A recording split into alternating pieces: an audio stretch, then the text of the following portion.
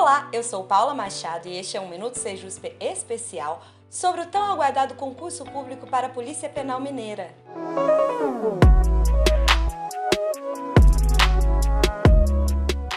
O edital foi publicado nesta semana e já está disponível no site da Sejusp e da empresa organizadora do certame, o Instituto Selecom. Mas atenção, as inscrições ainda não estão abertas. Elas acontecerão entre 22 de outubro e 21 de novembro, exclusivamente pelo site do Selecom. Ao todo, são 2.420 vagas de nível médio, 10% delas estão reservadas a pessoas com deficiência. O vencimento básico dos profissionais em início de carreira é de aproximadamente R$ 4.600 para uma jornada de 40 horas semanais em regime de dedicação exclusiva. Os candidatos selecionados serão lotados em unidades prisionais por todo o estado.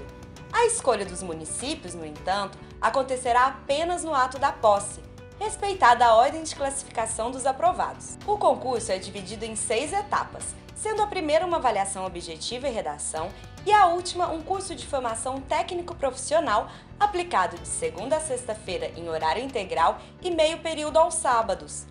Essa capacitação é remunerada com a metade do salário do cargo efetivo. Há ainda o teste de condicionamento físico, em que são avaliados critérios como resistência muscular e capacidade aeróbica.